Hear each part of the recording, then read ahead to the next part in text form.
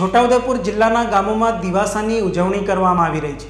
ગુજરાતમાં છોટાઉદેપુર જિલ્લો મહત્તમ આદિવાસી વસ્તી ધરાવતા જિલ્લાઓ પૈકીનો એક જિલ્લો છે.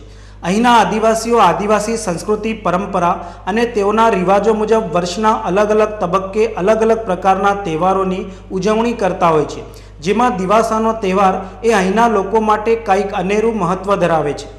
છોટાઉદેપુર જિલ્લાના આદિવાસીઓ ચોમાસું બેસતા જ ખેતરમાં વાવણી કરી ચોમાસાની શરૂઆત ખેતીના મહત્ત્વના કામોમાંથી થોડા ખળવાશ અને જાણે થાક ઉતારવાનો તહેવાર એટલે દિવાહો ઉજવે છે.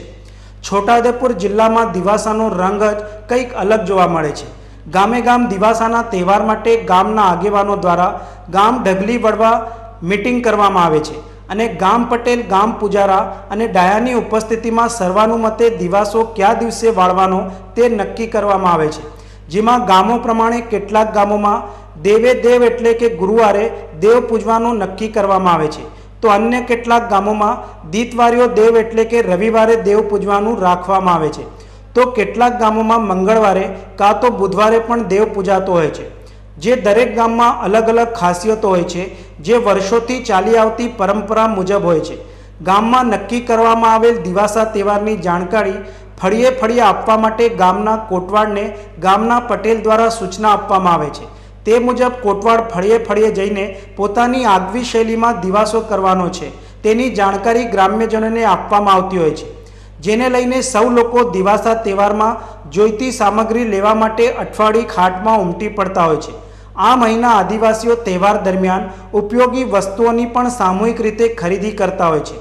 અહીંના આદિવાસીઓ પ્રકૃતિને પૂજવામાં માને છે અને પ્રકૃતિ એ જ પરમેશ્વર તેમ માનીને સાક્ષાત દેવો જેવા કે ધરતી માતા વાયુ પવન, અગ્નિ, પાણી મેઘ નદી નાળા પર્વતો, ડુંગરો, પહાડો તેમજ પોતાના ખત્રી પૂર્વજોને પોતાના દેવ માનીને પૂજવામાં આવે છે. જેઓને રાજી રાખવા માટે દિવાસાનો દેવ પૂજવાનો હોય, તેના આગલા દિવસે ઢાંક વગાડીને દરેક દેવના નામ લઈને રાજીનું ગાયણું કરવામાં આવે છે. જે દેવોને રીઝવવા માટે, ખુશ કરવા માટે કરવામાં આવે છે. કે ચાલુ વર્ષે ચોમાસા દરમિયાન કરવામાં આવેલ ખેતીવાડી લીલી રહે, વાવણીનો મબલક પાક ઉતરે, તેમજ વર્ષ દરમિયાન ઢોર ઢાકર અને પોતાના ઘરમાં અને ગામમાં સૌ સુખ શાંતિ, સૌની તંદુરસ્તી જળવાઈ રહે, તે માટે દેવોને રાજી કરાતા હોય છે.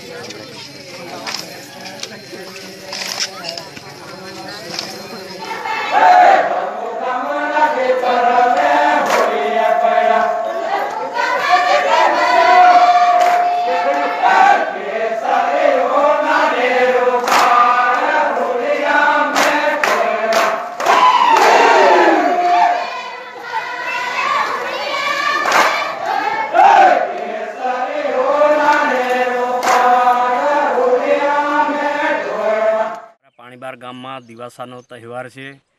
દિવાસાના તહેવાર પહેલાં બુધવારના રોજ અમારા ગામમાં રાજીનું ગાયણું એટલે કે દેવોને રાજી કરવા માટે ગાયણું કરવામાં આવે છે. એના પછી દિવાસાના આગલા દિવસે એટલે કે ગુરુવારે દેવપૂજન કરવામાં આવે છે. જેમાં અમારા આદિવાસી દેવસ્થાનો જે છે, લડવા દેવ વેરાય માતા, ખેડાઈ માતા ભેંહાટા દેવ, કુવાજા દેવ, દુધિયા દેવ, ગાંધરિયા દેવ વગેરે આદિવાસી દેવસ્થાનો જે છે, ત્યાં અમે પૂજન કરતા હોઈએ છીએ અને આજે તહેવારના દિવસે અમે અહીંયા ગાંધરિયા દેવનું પૂજન કરવા માટે બધા ભેગા થયા છે.